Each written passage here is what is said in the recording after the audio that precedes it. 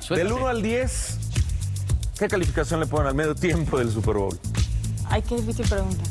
Eh, bueno, en espectáculo creo que seis, pero sí me gustó mucho.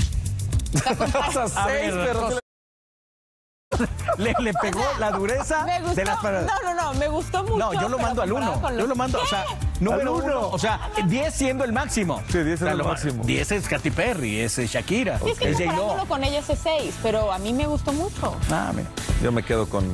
Es que ¿Qué eran como, era la, la casa de Barbie, ¿no? Y como que repartieron ahí sus, sus monitos. Bueno, pero es cuestión de gustos, ¿eh? 5 Cada y mi Snoop Eso Dogg, sí, gran que mensaje, entró bien acá, mensaje. le doy 10. Y a Muchas gracias también. a todos. Gracias a Vete a Katy. Jamaica la Gracias. siguiente. Nos vemos. Gracias, bye.